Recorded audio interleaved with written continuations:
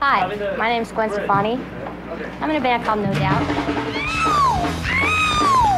This is a band that's played every single month since, you know, we were 17 years old. We're shooting the cover of Rolling Stone magazine, which is a huge honor.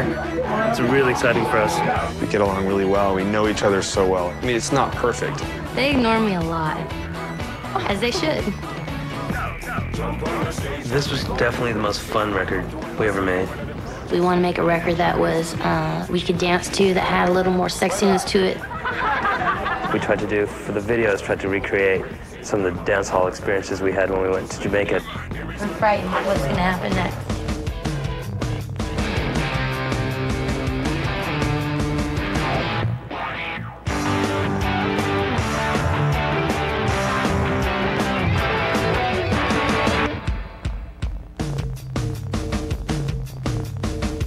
Idea behind the record was we'll go in, we'll write a few tracks and see what happens. There was no restrictions, anything goes. We actually had the ability to take our demos, which we recorded ourselves, and take them, took those to producers, you know, and we've never done that before.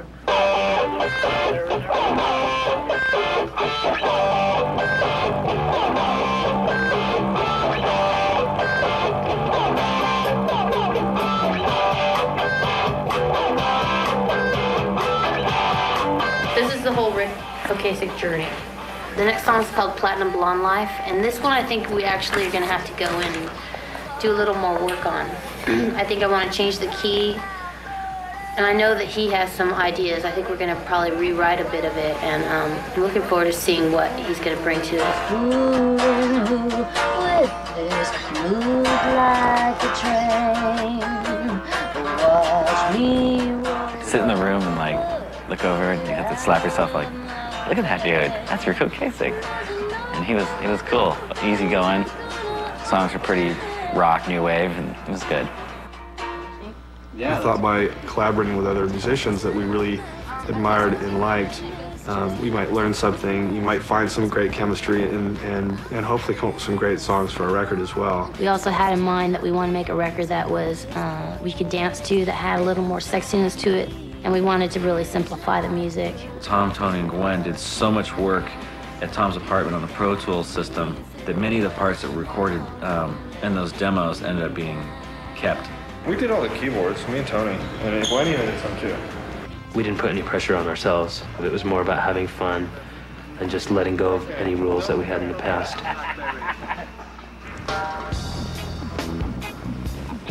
When we started writing this record, the whole dance hall theme was like the thing that inspired us, and Tony brought that to the band.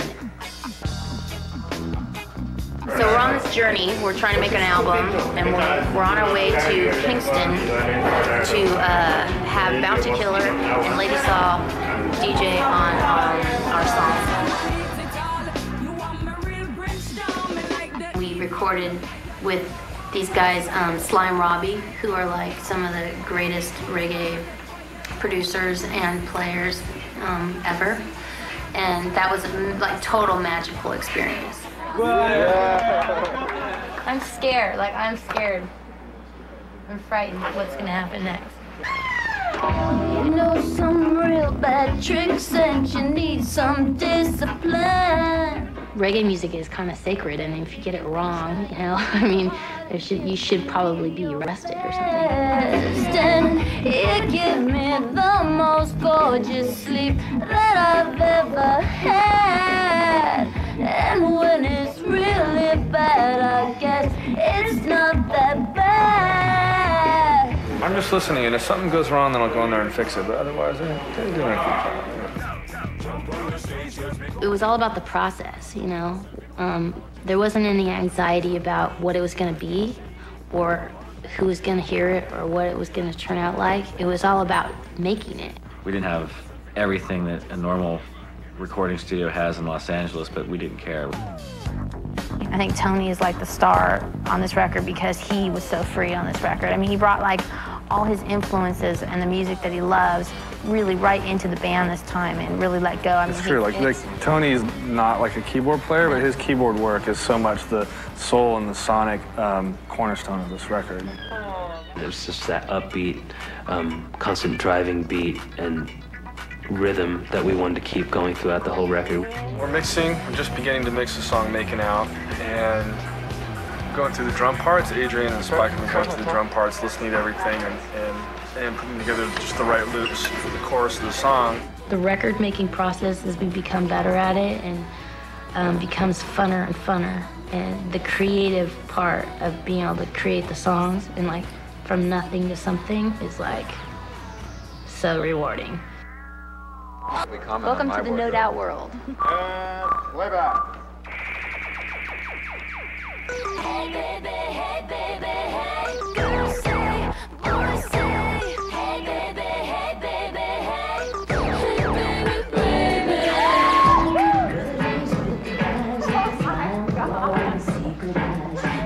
Kind of a, a song about um, girls and guys hitting on each other backstage at our concerts. it's just a fun song, silly, fun song. Tony, you gotta do one of these ones. I think he's No, no, funny. don't laugh. I'm gonna laugh the whole time.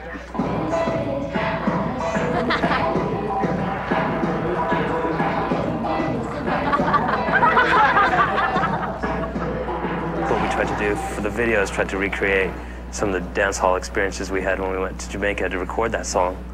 And uh, I think that they did an amazing job of putting that all together and making it look so real and authentic.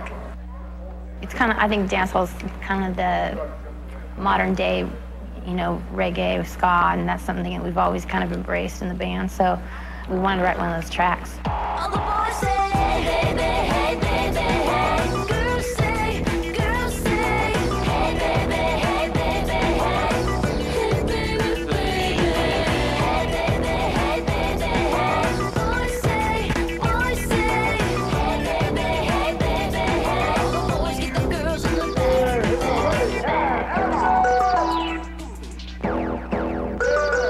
A lot of the thought that went into this record was the idea that people could actually dance to the songs, like in a club, and to watch them dancing and grinding to it was like, oh my God, I can't believe they're doing that to our song. And that was cool for us because it was the first time we got to see people react to it because we haven't played it for that many people except, you know, the close circle of friends so far. So it's cool to actually see people like really enjoying it. I'm the one they feed upon. Give a bit. And a lot of the um, the uh, young ladies and the, the extras here were they do have a style of dancing which is inspiring in many ways.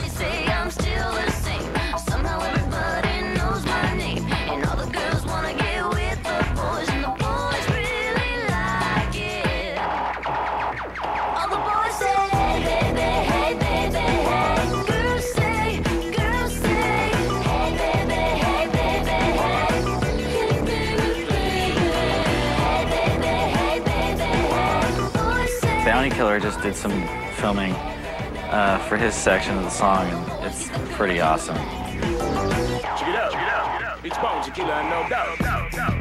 It- you know, you see his face, you know, to go along with the voice, and he's really tall and charismatic, and yeah, he's a good performer.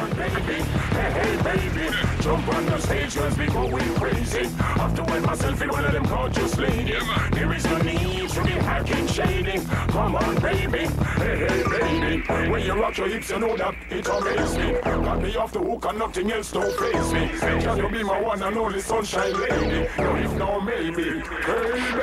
It's a full body show. Then after this, we get tighter and tighter. So it'll be less and less energy. So Okay. give it your all on this one, and then we'll go less and less. We're such a fan of that music, and then for us to try to like do a track like that and then have one of the real guys, Bounty Killer, come and, and be on it, it just made it so authentic. We love now out in Jamaica. You know, we got, we are here to spread the love, definitely. And I don't know for when.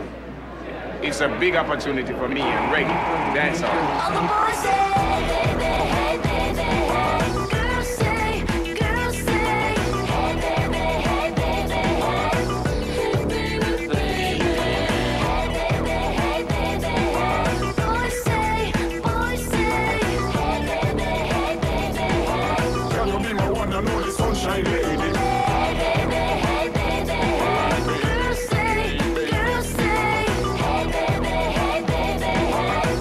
a dreams, you know that it. Hey baby, hey baby, say, say, hey baby, hey baby. Get the girls in the.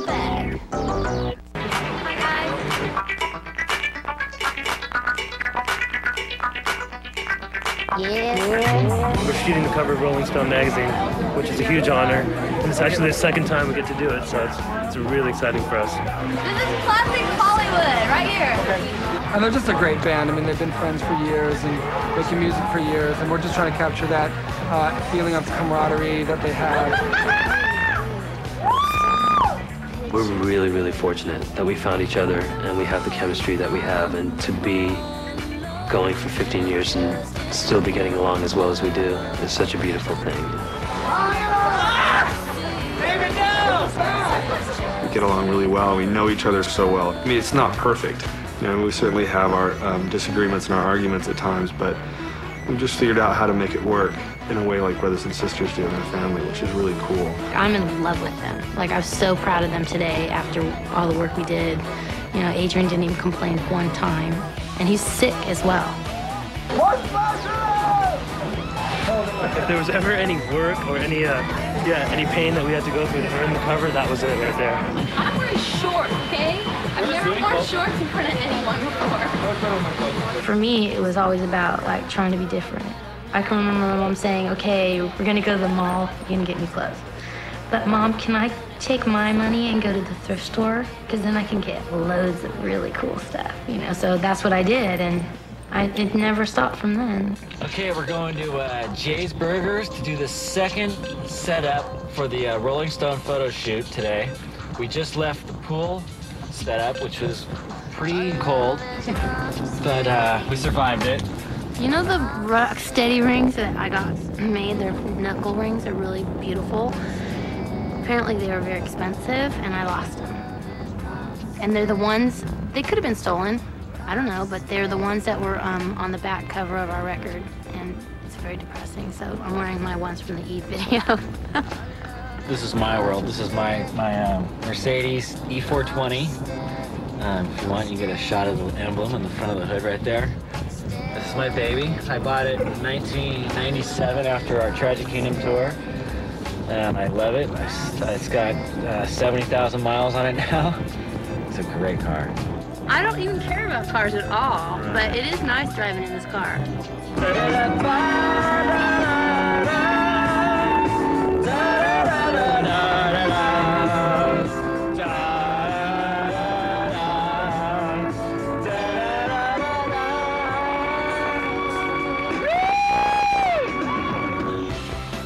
I'm so grateful that I don't have to have a real job and, you know, have to wear nylons and stuff, because that would suck really bad.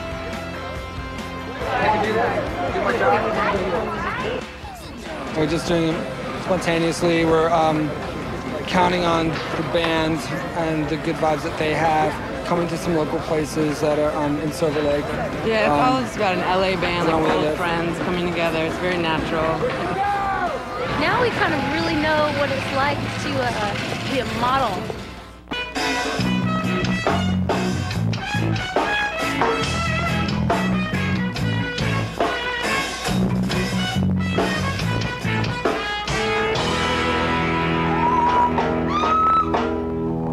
This is a band that's played every single month since, you know, we were 17 years old.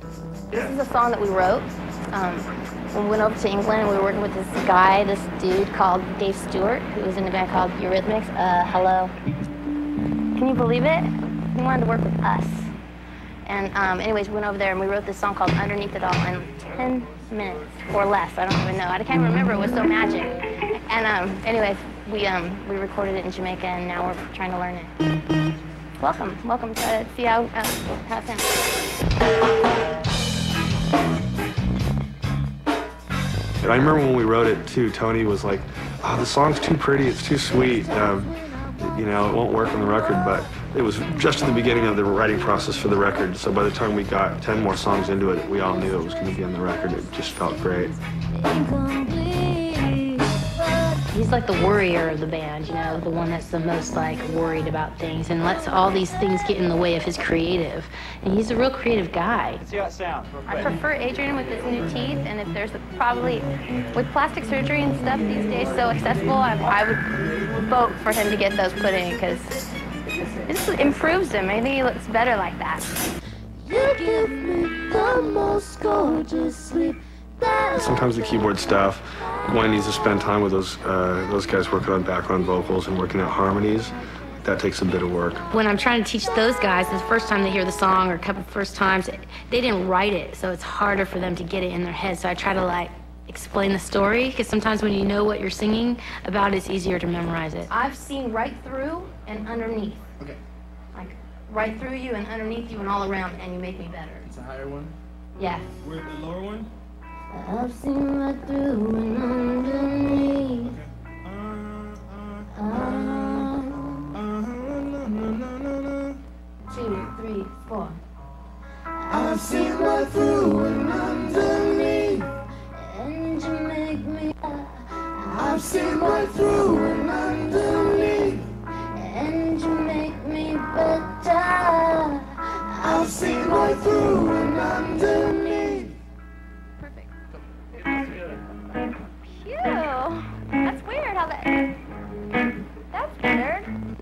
really do like the human body odor. It is. Tony, I, I don't. It's natural. It's a natural smell of the earth. Delicious. No. We've only had five rehearsals, and we barely practiced at any of. We just hung out and um, made jokes and talked about other stuff. So hopefully we're going to be really good.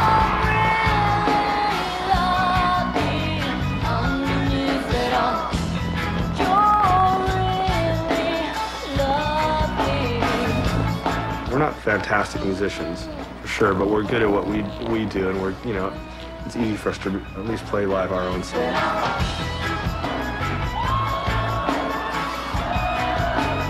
Underneath it all.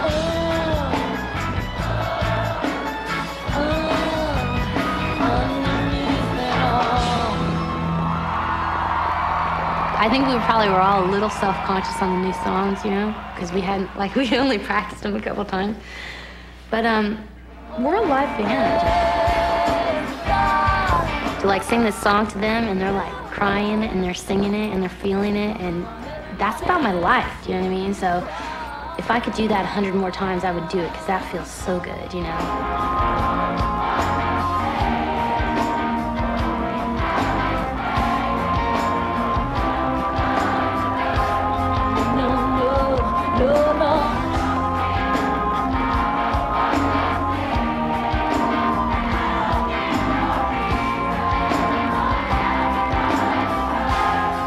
Feel like we really work, you know, because our work is so much fun. So we're fortunate when it comes to that.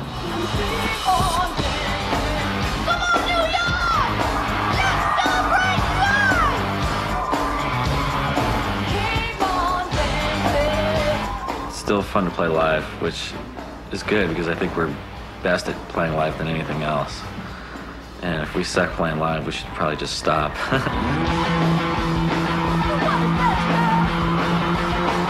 I love being up there, and I definitely, it's easy to get lost in what I'm doing, you know, for me, and just kind of zone out. But especially Tony and Gwen are like, they're like the really um, animated performers.